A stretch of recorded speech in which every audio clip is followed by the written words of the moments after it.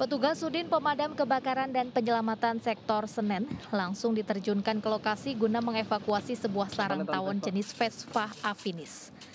Sarang tawon berukuran sekitar 60 cm itu diketahui menempel di sebuah kasur bekas yang disimpan pemiliknya di lantai dua rumah di Jalan Jamrut Senen, Jakarta Pusat. Selain membahayakan warga sekitar, evakuasi sarang tawon dilakukan lantaran telah menyerang seorang penghuni rumah hingga mengalami luka sobek di bagian kepala. Korban bahkan sempat mengalami pusing dan demam tinggi selama enam hari. Saya lagi ingin menjemur, tiba-tiba kepala saya diantuk tawon. Dalam hitungan detik, kepala saya pusing, langsung saya turun ke bawah.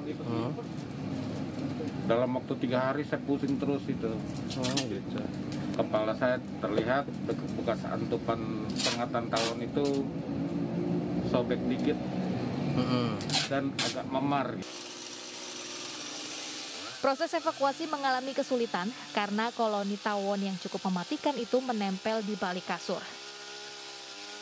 Petugas bahkan harus menyiramkan cairan pembasmi serangga dan memotong kerangka menggunakan gergaji mesin agar bisa mengevakuasi sarang tawon.